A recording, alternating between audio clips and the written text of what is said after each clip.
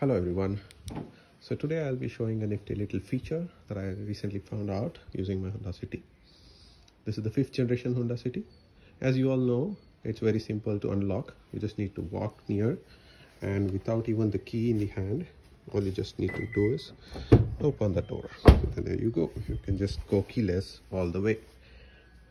But the way it works is using a transmission chip that is built inside the key fob, which keeps on communicating to the car back and forth right? So let's say you don't want this feature to be enabled so that someone in the middle intercepts this signal and tries to break open the car right? That's a security threat. So all you need to do when parking in certain areas where you find is unsafe is disable this feature by pressing both unlock and lock key until you find the red light blink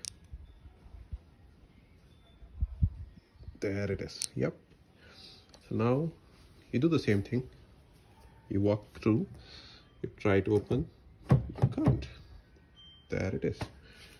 Now no unless you go back use the unlock key open the door close it lock it back and again let's try isn't that really useful?